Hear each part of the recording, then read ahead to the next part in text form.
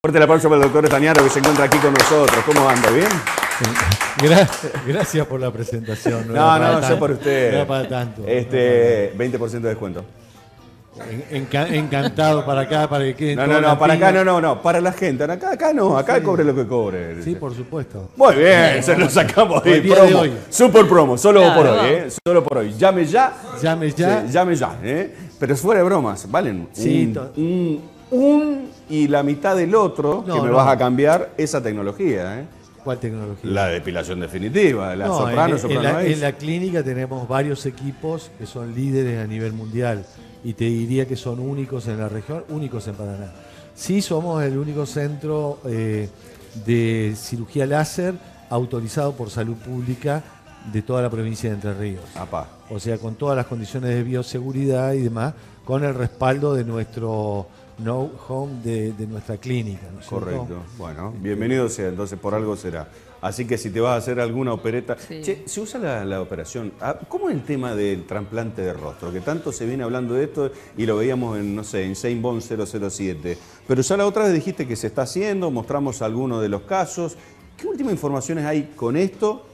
¿Y de cuánto juega la tecnología láser en este, esto de los trasplantes No, de en, rostro? en el trasplante de rostro este, es una de las operaciones líderes y uno de los grandes avances luego del trasplante de corazón, luego del trasplante de hígados, que tenemos eh, nosotros los cirujanos plásticos y que se han desarrollado y ha sido a partir del año 2005 que fue el primer trasplante de rostro que se hizo en el mundo, este, es una de las técnicas más innovadoras y pujantes que yo creo que va a revolucionar la cirugía plástica en los próximos años. Esto es para cuando un rostro ya no tiene posibilidad de ser reconfigurado, ¿no? Sí, eh, eh, Incendios, quemados. aclaro que- Bueno, andalo de Victoria, ¿no es cierto? Que pasó por la gente. de- Sí, claro. Eh. Aclaro, aclaro de que el trasplante de rostro eh, lo hace un, eh, un equipo, no lo hace un solo cirujano.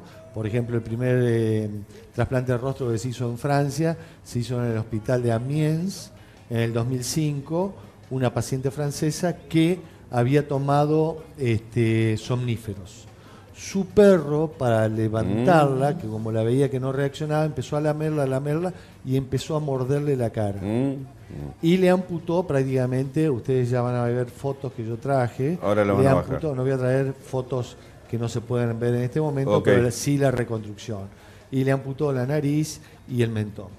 Eso se hace mediante técnicas microquirúrgicas, que son técnicas muy especializadas dentro de la cirugía plástica. Actualmente en Paraná hacemos las técnicas microquirúrgicas para reconstrucciones complejas, por ejemplo, de una mano, de un talón, autotrasplante de tejido. El trasplante de rostro ya es de un donante, eh, slide, de un donante, de un donante que estaba en coma o cadavérico, ese, ese, ese saca la unidad anatómica del rostro y se trasplanta en una persona que lo requiere. O sea que generalmente es cuando estás en posición, en la situación de donar órganos. Directamente también ahora sí, la parte facial. Totalmente. En, todavía en Argentina y en América del Sur no se ha hecho ningún trasplante de rostro. Trasplantes de rostro pueden ser trasplantes parciales de rostro o pl- trasplantes totales que se han hecho de rostro. Es una operación sumamente compleja, ¿Qué te mucho parece? más compleja que un trasplante cardíaco. ¿Por qué? Y sí. ¿Por qué? En el trasplante cardíaco o en el trasplante de hígado, nada más que trasplantamos un órgano que es, eh, por ejemplo, músculo, que tiene tejido muscular y algo de tejidos nerviosos. En el trasplante de cara trasplantamos distintos tipos de faneras o tejidos, piel, músculo, células grasas, ¿Terminales hueso, nerviosas? hueso, terminaciones nerviosas, los nervios faciales. Y a eso hay que darle una Uh. Vida. unión o anastomosis mediante la unión. De, acá tenemos, déjame esa, Esa placa. slide. Ese es el, el de el- la primera trasplante de rostro que se hizo de esa paciente, en que se le trasplantó de un donante cadavérico, como vemos en el esquema, la nariz, la boca, los músculos faciales y Qué eso con sus arterias y sus venas. Esa paciente fue en el 2005. fue un éxito rotundo. Pasame la siguiente. Y marcó un hito en la medicina. Ahí déjala. Esa es la paciente ya, hoy? ya trasplantada. Esa paciente falleció en el 2016. Vivió del 2005 hasta el 2016. Y no le quedó ni siquiera 14 años vivió esta paciente francesa de que la operó el doctor Duvernay, el cual tuve la posibilidad de, conocerlo en su hospital en, en, Nantes, en Francia, y se le trasplantó toda esa unidad anatómica. Fíjense, esto fue un hito realmente en la cirugía plástica, en la medicina y en la cirugía. Pasame la siguiente. Qué bárbaro. Realmente, actualmente ya hay más de hechos en el mundo, más de 40 trasplantes de rostro. ¿Cuántas horas de internación y qué clase de sensibilidad esa, tiene un Esa cirugía, la de Duvernay, tardó 15 horas ¿Mm? en realizarse.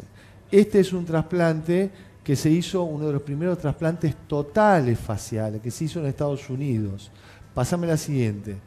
Eh, ese es el rostro trasplantado de esa persona, en que hay que conjugar aparte las características fisonómicas del donante, las características inmunológicas y grupo sanguíneo del donante, y ya voy a explicar cuáles son los problemas que trae para implementarlo a lo largo del tiempo este tipo de trasplante. Ese trasplante de rostro total que ustedes están viendo fue un bombero en Estados Unidos que se quemó todo su rostro. Y ustedes pueden ver la transformación de un trasplante total hasta de cuero cabelludo de ese rostro. Se le trasplantaron oreja, cejas, párpados, nariz, boca y cuero cabelludo. Un éxito rotundo. Técnicamente estamos en condiciones de hacer este tipo de trasplantes teniendo toda la tecnología, la infraestructura. Ahora, la problemática que se nos arma es la problemática inmunológica mm. de rechazo eh, de acá, porque en el trasplante de cardíaco hay nada más que un rechazo del tejido cardíaco que se ha estudiado a tal punto que nada más que es el músculo estriado cardíaco. En el trasplante de rostro tenemos la acción inmunológica de la piel, del músculo, los nervios, hasta el hueso de la mandíbula, porque se ha trasplantado hasta con una mandíbula completa. Qué bárbaro. La siguiente, pasame la siguiente. Qué bárbaro, Dios querido. Y ese es el primer caso que se hizo en París de un trasplante doble. Lo traje de ese slide porque es muy interesante, porque este paciente se le hizo un trasplante de rostro, rechazó al año su rostro y se consiguió un segundo donante.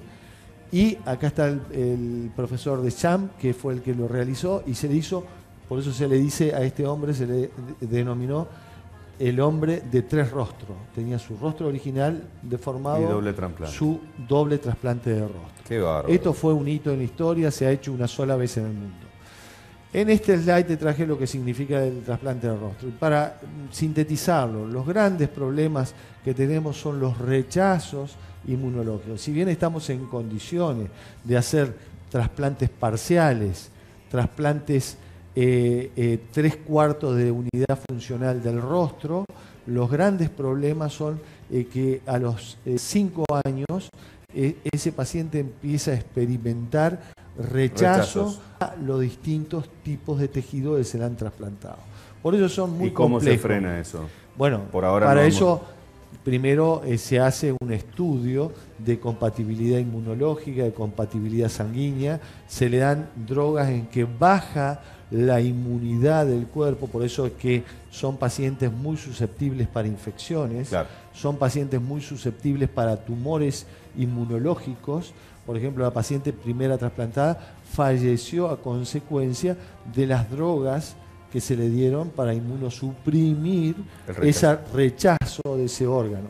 Pasa a la siguiente. Qué Nosotros un poco, traje un poco la historia, agrandame, de todos los trasplantes de rostro que se han hecho. En el 2000, acá traigo la foto del doctor Pedro Cavadas, del Hospital La Fe de Valencia, el cual pude ayudar en varias intervenciones cuando estaba en España. El doctor Pedro Cavadas fue el primero que hacer el trasplante parcial de rostro en Valencia, en España. Eh, fue también un hito en la medicina, ya que se trasplantó parte de la mandíbula es un excelente cirujano plástico, excelente, que es el jefe de cirugía plástica del, Hospital La Fe. Pasame la siguiente. Este traje un caso acá, este es un caso de acá de Paraná, operado en nuestro Hospital San Martín, aunque parezca mentira. Es un autotrasplante o colgajo libre. Esta es una chica de bajada grande que se había caído con la moto, accidente de moto, se había sacado prácticamente medio talón y entonces de la región del antebrazo se saca una unidad anatómica con su arteria y su vena y se le trasplanta o autotrasplanta a su talón. Del antebrazo al, al talón. Exactamente. Ustedes hacen cualquier cosa. Estas son las posibilidades microquirúrgicas. Con esto es lo que empezamos y ojalá pudiéramos llegar nosotros a un, auto, a un trasplante parcial de rostro, en lo cual ya se, se cita eh, que estamos en, estudio y en trabajo con el CAI para tratar de que nos autorice, aunque sea trasplantes parciales de rostro. Tuvimos un caso en el Güemes de Buenos Aires, yo había estado muchos años en el Hospital de Clínicas, este, a cargo de la unidad de microcirugía y de reimplante de miembros, y en el Güemes tuvimos un caso en que un Rottweiler le había arrancado prácticamente todo el rostro de una paciente. Esto fue hace un año y medio, lo estudiamos, eh, ya teníamos un donante, una paciente que estaba en coma y que iba a oficiar de donante y no se lo pudimos hacer trasplante porque el percentilo no daba, tenía un cáncer de mama anexado, entonces no daba el percentilo para realizar ese trasplante. Pero estamos con un equipo de Buenos Aires, del Hospital de Clínicas, este, del Hospital Güemes, del Sanatorio Güemes, en conjunto este, dentro de la Sociedad Argentina de Cirugía Plástica, que somos varios cirujanos plásticos que nos dedicamos a la parte de microcirugía, a ver si podemos hacer en algún momento, te este, repito, en la Argentina no se ha hecho, en Sudamérica tampoco. por este, hacer el primer, no, no, no, estamos en estudio. No, no, estamos en estudio. Todo eso no quiere decir que se vaya a hacer. Trasplantes de rostro pueden ser parciales y totales. Son operaciones muy complejas son operaciones que requieren... 15 horas ahí. 15 a 24 horas. Es un estrés Porque acá actúan dos equipos quirúrgicos eh, muy entrenados. Uno que es el que extrae el órgano donante y, otro es el que implanta el órgano donante. Entonces, eh, yo te mostré lo que hacemos acá en Paraná, que es el autotrasplante de determinadas zonas anatómicas. Eso, ¿eh? Quiero más de esos casos particulares para la sí, Sí, sí, tenemos muchísimo. Acá en Paraná Eso es increíble. hemos operado más de... Antebrazo y el talón. ¿Y, le funciona perfecto el talón? Sí, sí, sí. sí increíble. la verdad, eh, eh, cuando venís nos dejás todos calladitos, porque estamos todos así, claro, estamos todos pensando Bueno, esas son pequeñas cosas que se siguen haciendo acá y que eh, necesitamos el apoyo de salud pública, necesitamos... Vos imaginate que el primer trasplante total de rostro en Estados Unidos se le llama el hombre del millón de dólares. Eso le costó. Por el costo que salió en, en, la infraestructura médica de mover rostro, equipos médicos, 45 personas y demás cosas.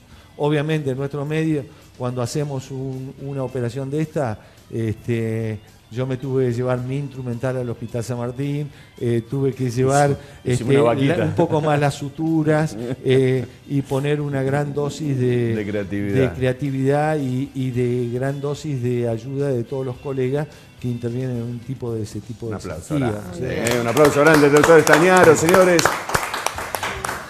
Y si también querés hacerte la depilación, depilación definitiva, también te lo puedes hacer. como, como que venimos de allá, ¿eh? de Marte, y también tenemos lo, de todos los días. Gracias, Doc. ¿eh? Gracias a vos. Te quiero de nuevo con todos los trasplantes locales que me interesa sobremanera, porque esa es la que le pasa todo el tiempo y vos decís, ¿qué, ¿cómo hacen? Él le reconstituyen un talón, le reconstituyen parte de la mano, le reconstituyen de nuevo los dedos cuando se le cortan. La verdad es un trabajo que a, mí me da una cosa. Es que la cirugía plástica no, es, solamente cirugía estética. La cirugía plástica tiene una parte muy importante que es la cirugía reconstructiva. Esa es. Y dentro de eso tenemos la microcirugía reconstructiva, que es la que se dedica justamente a todo este tipo de adelantos técnicos que hoy en día están en boga dentro de la cirugía plástica.